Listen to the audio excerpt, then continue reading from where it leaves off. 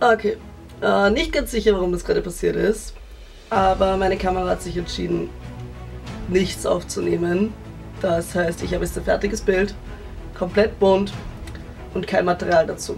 Ich habe die ersten viereinhalb Minuten, was so ungefähr das Zeichnen und vielleicht noch ein bisschen was vom Schattieren ist. Aber das war's. Und wenn ihr meine Videos gesehen habt, wisst ihr, dass ich immer die Pride Flag, die ich an dem Tag mache, reinarbeite. Das heißt, wir haben heute die bisexuelle Flagge und nichts von den Farben da.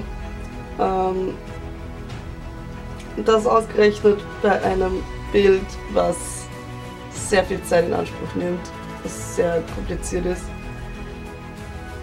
Diese Videos sind, oder dieses Video ist vorproduziert. Das heißt, vielleicht finde ich nochmal die Zeit, das äh, neu zu machen. Ich kann es aber nicht versprechen. Ich zeige euch jetzt einfach mal das Endresultat und sorry, it happened, I cannot change it. Danke fürs Verstehen. Ciao.